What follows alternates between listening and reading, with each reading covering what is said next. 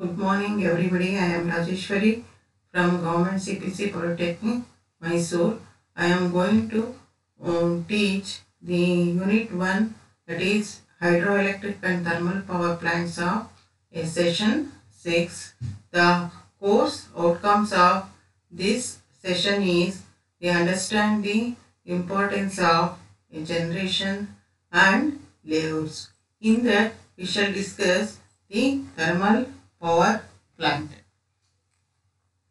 The content of this is the introduction, the factors to be considered for the selection of the site for the thermal power plant, basic principle of thermal power plant, energy conversion and the test in or the assignment includes the some of the MCQs that is the multiple choice question that is the contents includes what that is the introduction factors to be considered for the selection of the thermal power plant the basic principle of a thermal power plant energy conversion and the test includes MCQ and assessment.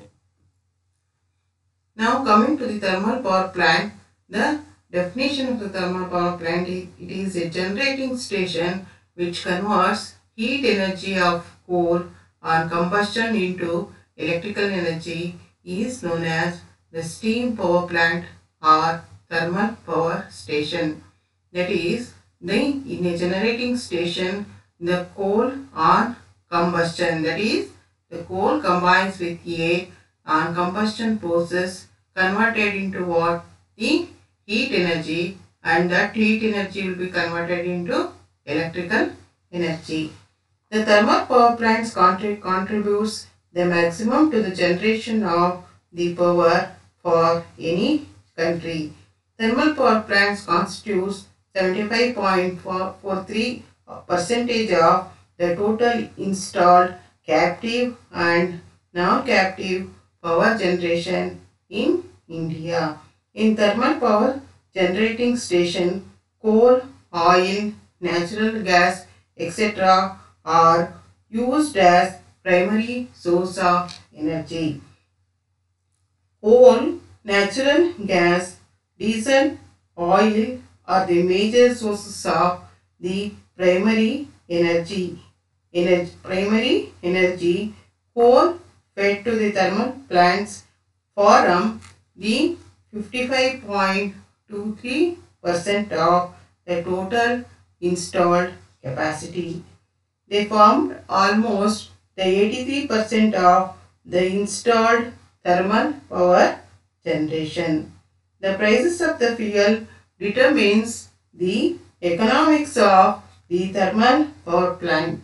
To increase the efficiency of the plant, steam is generated at highest possible temperature and pressure.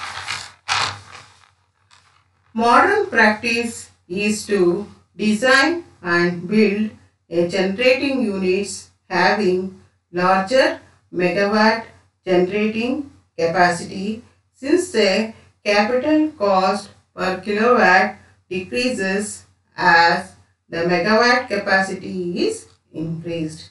Increasing the unit capacity from 100 megawatt to 250 megawatt results in saving of about 15% in their capital cost per kilowatt. Presently, the overall capacity of the turbo generator sets being produced is nearly 1200 megawatt. In India, su- super thermal power plant of capacity 500 megawatt are being commissioned by BHEL company. Also, many ultra mega power plants are being sanctioned to achieve the gov- government goal of energy for all. This is about the introduction of the thermal power plant. Now, let us consider the some of the factors to be considered for the site selection of the thermal power plant. First one is the supply of the fuel. The steam power station should be located near the coal mines so that the transportation cost of the fuel is minimum. That is, here the fuel used is coal. That should therefore the plant should be located near the coal mines so that the transportation cost of the fuel is minimum. Next one is the availability of water. The huge amount of water is required to produce steam and to condense the exhaust steam condense the exhaust steam from the turbine.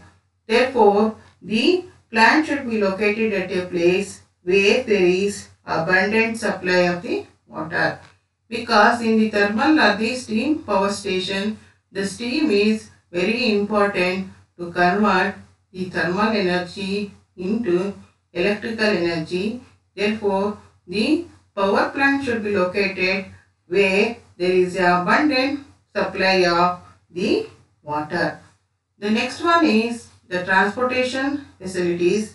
The power station requires the transportation of men, material and machinery.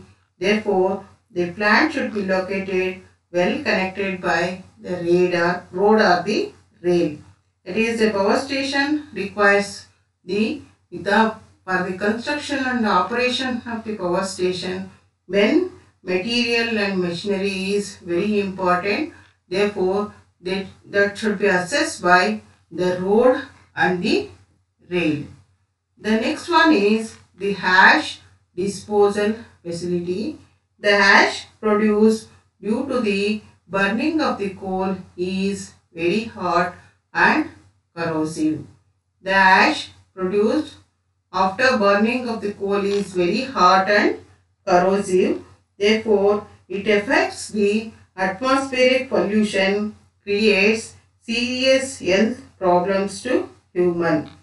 Therefore, there must be sufficient space available for the disposal of the large quantity of the ash. That is the in the combustion of the fuel, the ash is produced which is very hot and very corrosive. If it is not disposed properly, it will affect what the environment and also the human. Therefore, the ash facility should be must for the thermal power plant. The next one is the availability of the labor. During the plant installation and during the plant operation, the sufficient labor should be available at the cheaper rate. That is for the plant installation, plant erection and also the operating operation of the plant, the labor should be must. Therefore, the labor should be available at the cheaper rate. The next one is the cost and the type of the land. The cost of the land should be less. Therefore, the in the in the selection site selection the land should be very important because if the land land should be should be available at the less cost and also the land should be capable of bearing the load of heavy equipments. It should bear the or should uh, it should load the heavy equipments. The next one is the nearest to the load center to reduce the transmission cost and the transmission losses. The plant should be located at located near the load center. It is in order to in order to reduce the cost of the transmission and the losses of the transmission, the plant should be located near the load center. The next, next one is the distance from the populated area. A huge amount of coal is burnt in thermal power station. A large amount of smoke and fumes are produced which pollute the surrounding area. Therefore, the plant should be located at a considerable distance from the populated area. That is, the burning of the coal will pollute the environment. Therefore, the plant should be located at the far distance from the populated area. Now, once again recap the selection of the site for the power thermal power plant. That is the supply of the fuel. First one is the supply of the fuel. The second one is the availability of the water. Third one is the transportation facilities. The fourth one is the hash disposal facility. Fourth one, fifth one is the availability of the labor, the cost and the type of the land and nearest to the load center and the distance from the populated area. These are the some of the factors to be considered before selecting the site for the thermal power plant. Next is the next we should consider the basic principle of basic principle of a thermal thermal electric power plant. In a thermal power plant, the steam turbine is used as the used as a prime mover. The some in a thermal power plant, the steam turbine is used as a prime mover. The coal burns inside the boiler and the steam produced in the boiler is converted into mechanical energy in the steam turbine. The steam turbine drives the alternator which converts the mechanical energy into electrical energy. That is, in a thermal power plant, steam turbine is used as a prime mover. That is, in the prime mover, the steam expands and converted into mechanical energy. The coal is burns in burns inside the boiler. Coal burns inside the boiler will produces the thermal energy or the heat energy and the steam produced in the boiler is converted into mechanical energy in the steam turbine. That is, the steam produced is expanded in the steam turbine to produce mechanical energy. The steam turbine is inter interconnected with the alternator or coupled with alternator which converts the mechanical energy into the electrical energy. This is the basic principle of the thermal electrical power plant. That is, the thermal energy will be converted into the electrical energy by using what? By using the boiler, steam turbine and the alternator. Now, coming to the energy conversion principle. Coming to the energy conversion principle of a thermal power plant which, con which consists of the heat energy and mechanical energy and electrical energy and the consumer. That is, the heat energy will be produced due to the combustion of the coal. is the heat energy will be produced by the combustion of the coal.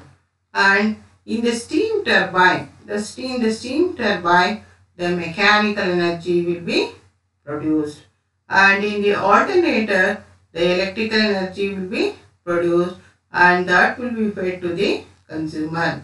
That is, the in the coal combustion. In the coal combustion means the coal combines with the air, um, produces the heat energy and that will be fed to the boiler and in the boiler the steam is produced and this steam is is fed to the steam turbine. This steam is fed to the steam turbine where steam expands to produce the mechanical energy. And this steam turbine is coupled to the alternator in which the mechanical energy will be converted into electrical energy. That is when the turbine rotates, the alternator also rotates to produce the electrical energy and that energy will be will be passed on to the eh, consumer. Now, now let us consider the some of the related images about the working of the thermal power plant. The first figure shows the, the thermal power plant and second one shows the coal arrival. The first one shows the, the image about the thermal power plant and the second one shows the arrival of the coal. The next one is, next figure shows, the figure 3 shows the coal mines where coal is stored and the figure 4 shows the transferring of the coal. That is the transferring of the coal from the coal mines. Next one is the figure 4 shows, our figure 4 shows the storing of the coal. Storing of the coal and the figure 5 shows the pulverizing. That is the stored, stored coal is cut into small pieces. That process is known as the pulverizing. This increases the pulverizing increases the combustion process or increases the speed of the combustion process without needing the large amount of the air. The next one is the figure shows the coal bunker in which the coal is stored and also the coal drum. Here also the coal is stored. The figure 8 shows the, in the picture shows the coal converted into powder. That is the pulverizing process. The coal is converted into converted into powder. Figure 9 shows the combustion of the coal. Combustion of the coal and also the production of the steam. Figure 9 shows the combustion of the coal and also the production of the steam. That is steam is produced when the water is passes through the boiler where the combustion of the coal takes place and the steam is produced. And the figure 10 shows the combustion of the coal due to the combustion of the coal the production of the thermal energy.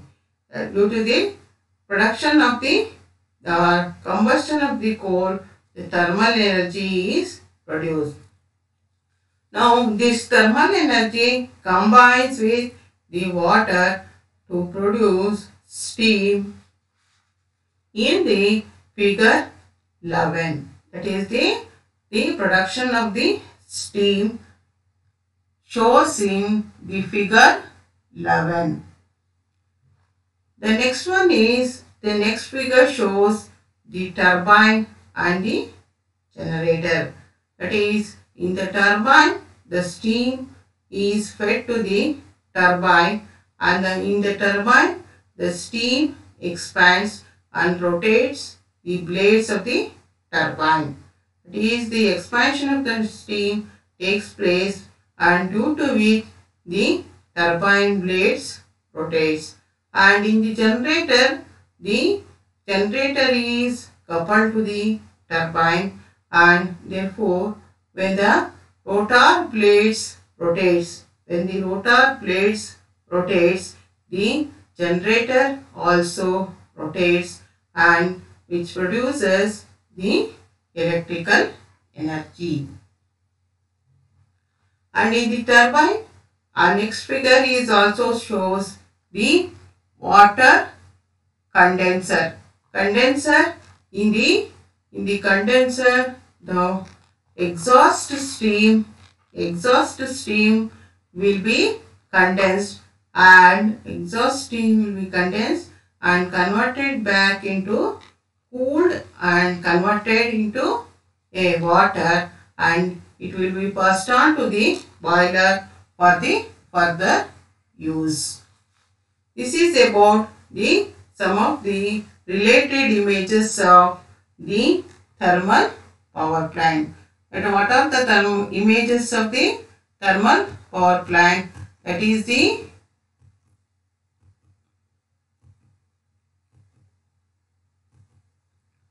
that is the thermal power plant coal arrival coal mines transferring of the coal storing of the coal pulverizing coal bunker coal drum coal converting into powder combustion and steam. Combustion of the coal, thermal to steam, turbine and generator and also the condenser that is in the condenser that is uh, the exhaust steam will be converted into water and again fed to the boiler. Is in the images related to the thermal fan. First, the FirstEnergy operates 20, 20 power plants in United States produces early 70,000 million megawatt of hours of electricity each year for over the 4 400,000 million residential, commercial and industrial consumer as over half of the FirstEnergy is produced by using the coal compares to about 60% nationwide. This plant has generating that produce regenerating that produce more than 2000 million megawatts of electricity and 4 capacity power plant can produce enough electricity to supply the needs of one and a half millions home business. The generating electricity requires a fuel source at this plant is coal. Coal each storage arrives the 15 or each storage contains 15 hundreds of coals to keep the plant running for the couple of years. The plant uses about nearly 1000 tons of coals each day. So over millions tons of coal, 900 tons of coal transfer into the plant each hour. Once inside the plant, 30 hours of supply of the coal is stored in the bunker. Coal moves from the bunker to the feeder to pulverizing. Each generating unit has 16 coal feeds that supply and pulverizer. Coal enters the pulverizer and spins in a large drum and grinded to fine powder. Now, the fine powder coal needs a pulverizer and heads to the boiler about 335 tons of coal can be pulverized per hour. Large fans and warm air fed to the powder coal and poured into the boiler. The boiler has the miles of tubes and high quality of water. Once inside the boiler, coal ignites, releasing energy, generating in tons of heat and changes the water inside tubes to hot steam. The temperature of the steam is about about 1000 degree centigrade. This process generates thermal energy which is transferred to mechanical energy at the turbine which is at the turbine and is high pressure steam. Now 1000 degrees Fahrenheit is piped from the boiler to the first in a series of turbines expand between the turbine blades mounted on the turbine shaft. In this process, steam turns the turns the series of turbine 3600 revolution in it per hour to the generator. The generator continuously creates an electrical change, electrical charge and the electricity will be produced which goes to the consumer. After the steam is being created in electricity, it is exhausted from the turbine and sent to the condenser and changed back to the water and reused in a boiler. Now let us consider the some of the multiple choice question. That is first one the what is the thermal efficiency of the steam power station. The option is 38%, 28%, 40% and 45%. That is the thermal efficiency of the steam power, um, power station is the 28%. Second one is the, the space required by the steam power station.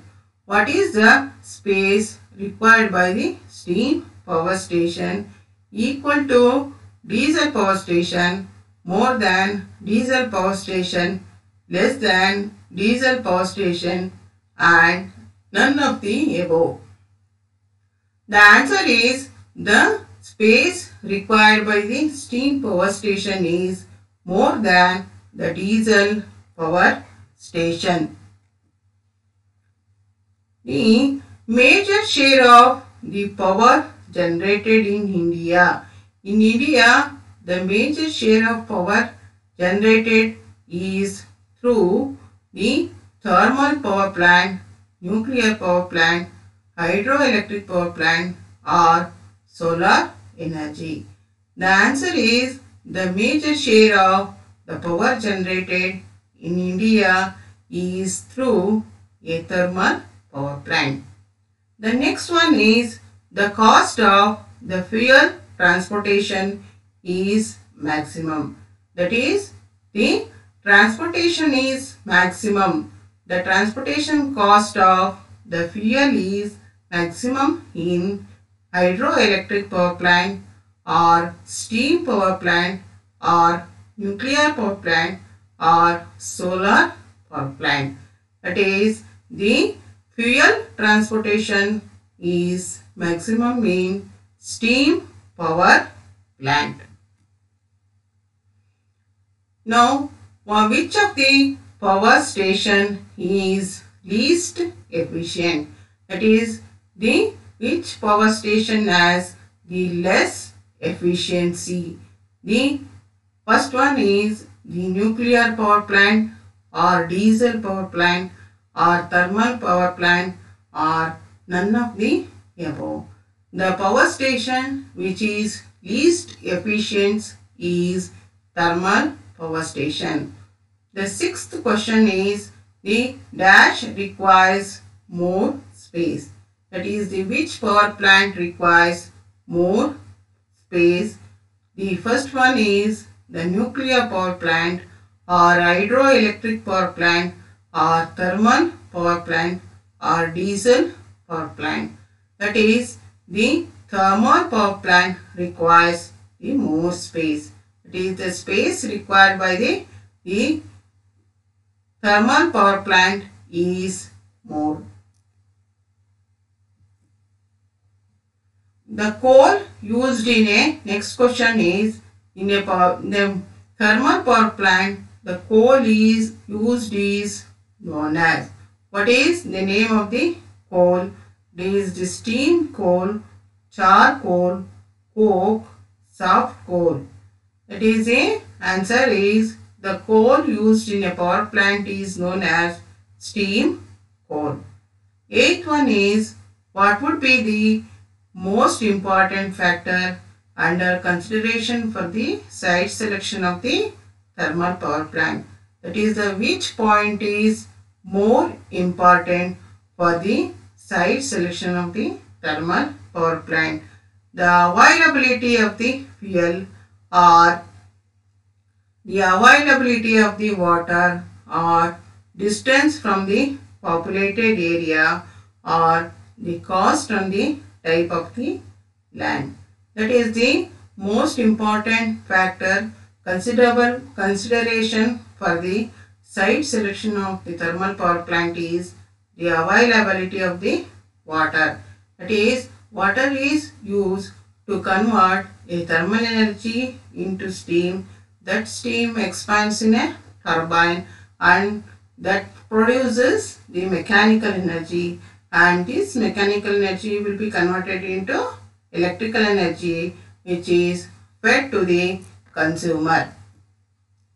The ninth question is in India largest thermal power station is located at that is the where the largest thermal power station is located in India. First one is Kota or Sarni or Chandrapur or Neyveli. That is in India, the largest thermal power station is located at the Chandra Chandrapur. The tenth question is the modern steam turbines are. The modern steam turbines are impulse turbines, the are reaction turbines or impulse reaction turbines or none of the above. The modern steam turbines are the impulse reaction turbines. Now the assessment question. The assignment questions are the what are the the factors to be considered for the selection of the site for the thermal power plant. That is list the some of the factors considered for the selection of the thermal power plant and the explain the energy conversion principle in the thermal power plant and the suggested activity is suggested activity is collect and present the data regarding the thermal power plant in Karnataka and India. Thank you.